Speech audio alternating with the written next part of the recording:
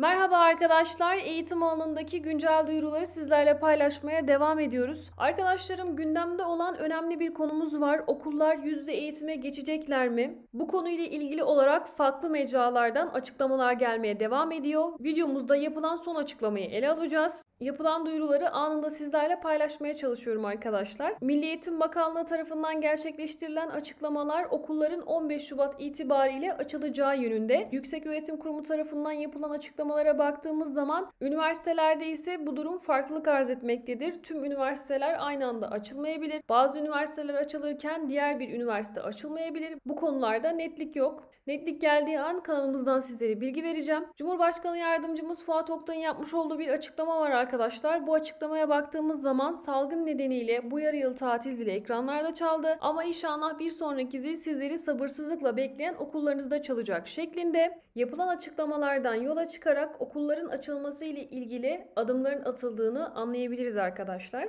Açıklamalar yapıldığı an kanalımıza aboneyseniz ve bildirimleri aktifleştirdiyseniz anında haberdar olacaksınız. Diğer bir videomuzda görüşmek üzere. Hoşçakalın, sağlıkla kalın arkadaşlarım.